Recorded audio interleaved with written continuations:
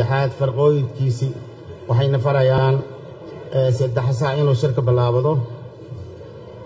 Haddii hal sac la waayo lagu daro hal sac kale haddii afar sac la gaaro hal sac lagu daro shan sac haddii la gaaro oo maaragtay buuqaas waa xidmaya buuq kale la furaya saasuu maaragtay heer hoosadkana faraya haddaan heer hoosadka loo hoggaansamin oo qof kastaba khiyaarkii iyo rabitaankii ayagoo magaalada la joogo amba fasaxaan la iska maqnaado taas macnaheedu wuxuu noqonayaa inaan maaragtay la qadarinaynin waajibaadkaan u dhaarinay ummadda soomaaliyeed wakiilka uga ahayn.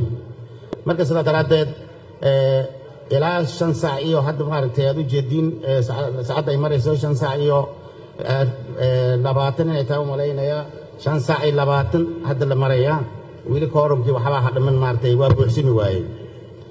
Waxaan ognahay xildhibaanada fasaxa ku maqin tiradooda inay yar tahay oo aan isku mashquulinay siduu xoorasadkana faraayey in maaragtay xildhibaano kooban ay fasaxa ku maqnaadaan. Marka inaan ka weyno ayagoo magaalada qaarkooda joogaan dadka fasaxa ku maqan konton ma dhammaa soddon iyo waxyara fasax rasmi ah ku maqan. Dadkii fasaxa ka dhammaaday oo iska maqnaadan waxay la mid yihiin qof aan fasaxa la siinin buu la mid yahay. Sidaa daraaddeed xildhibaanada sharafta leh arrintan dadka fadhiya kuma dhacayso dadka maqan ay ku dhacaysaa.